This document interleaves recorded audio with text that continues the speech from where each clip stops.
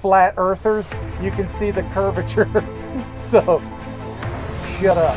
Your, your size isn't large enough relative to Earth to notice any curvature at all. Always saying, I saw the curvature. I saw it. Forgot my goggles. Aren't you glad I'm here?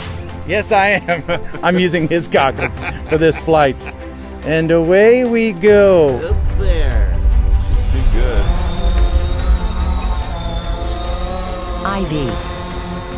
Ah, what are you doing? What are you? Oh, it looked like you. what are you doing, Dana? I might have to get me a senator. I might have to do it.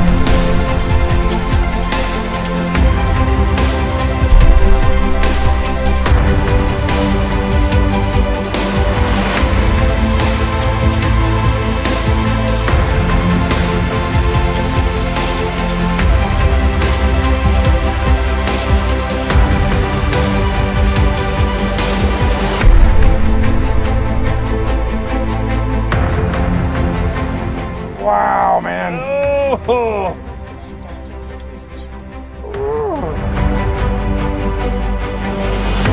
I'm at the limit. I'm at the, the height limit. yeah, you're it.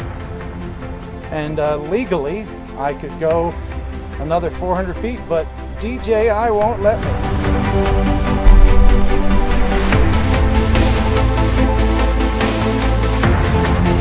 Wow, 1,640 feet, maximum altitude, but it's legal.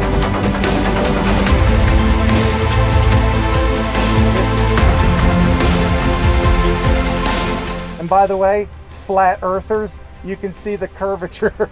so, shut up.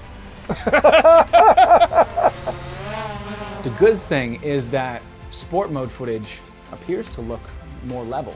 If you watched my speed test last year, full throttle with the Phantom 4 Pro was like falling off the edge of the earth. And, and uh, by the way, I'm not a flat earther. I say, how high do I have to be to see curvature?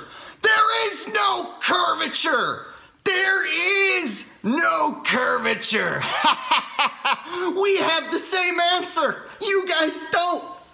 Go ahead, ask any flat earther how high you gotta go to see the curvature. And they're always 100% of the time gonna tell you there is no curvature. Ha ha, we have the same answer. You guys have a different answer every single time. Every single one of you says something different every single time.